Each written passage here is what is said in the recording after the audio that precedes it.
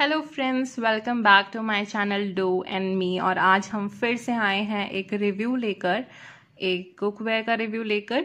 सो so, देखते हैं कि क्या है आज का रिव्यू क्या प्रोडक्ट है हमारा कैसा प्रोडक्ट है।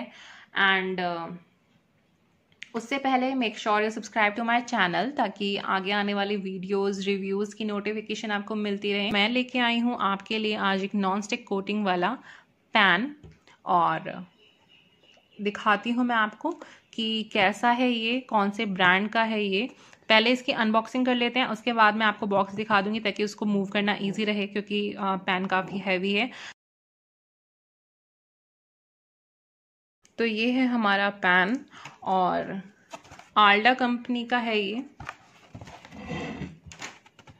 जैसा कि यहाँ पे आप ब्रांड नेम देख सकते हैं आल्डा और प्रीमियम नॉन स्टिक कुकवेयर है ये। Three layer non stick coating है इस पर और सेरेमिक का भी यूज़ किया गया है। इस पर टू ईयर्स की वारंटी है।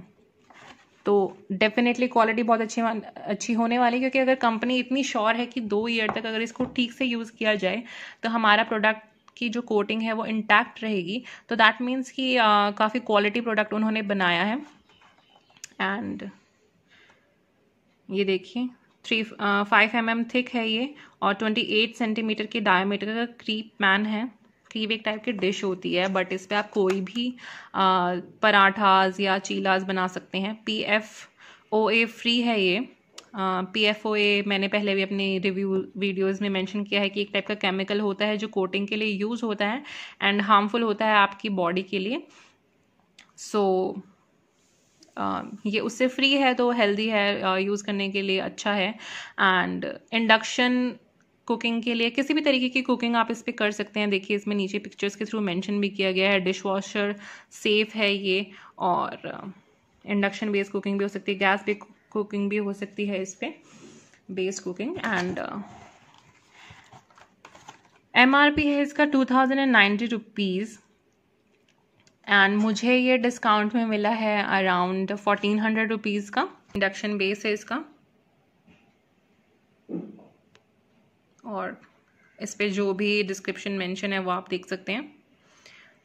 अच्छे से हीट डिस्ट्रीब्यूट होती है, ऐसा नहीं है कि हीट जो है वो सिर्फ़ सेंटर में है।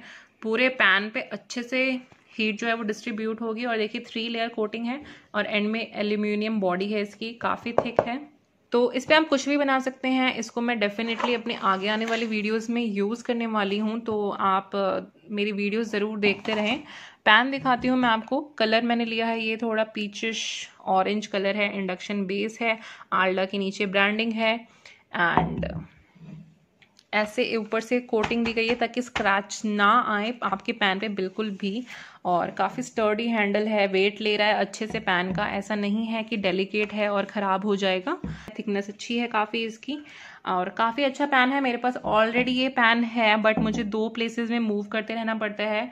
दो स्टेट्स के बीच में तो मैंने अब दोनों जगह के लिए ले लिया है। एक मेरे पास ऑलरेडी था और ये मैं अभी दिल्ली में हूँ करेंटली तो मैंने यहाँ के लिए भी मंगवाया है ये, क्योंकि काफ़ी अच्छा पैन है ऑयल बिल्कुल यूज़ नहीं होता। तो अगर आप ब्रेकफास्ट बनाते हैं, आपको पैन केक्स या चीला या पराठास खाना पसंद है और आप ऑयल या घी यूज़ नहीं करना चाहते हैं। सो काफ़ी अच्छा प्रोडक्ट है उसके लिए।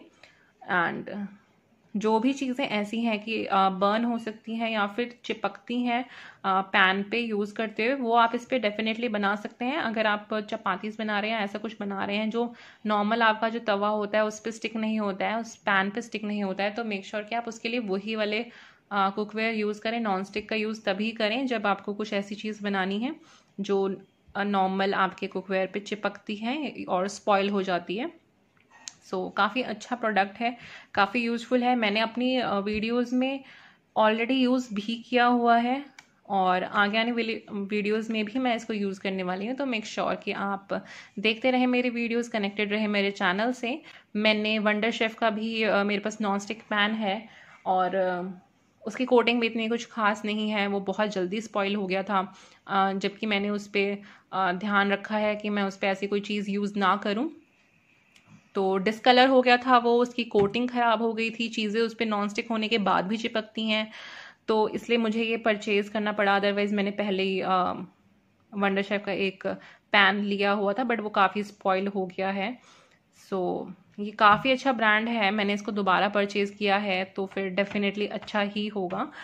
सो आई होप कि आपके लिए भी वीडियो हेल्पफुल रही होगी और अगर आपको लेना है कुकिंग पैन या कुछ भी कुकवेयर लेना है तो इस ब्रांड को आप कंसिडर कर सकते हैं। काफ़ी अच्छा है, काफ़ी अच्छी वारंटी दे रहा है टू ईयर्स की वारंटी है।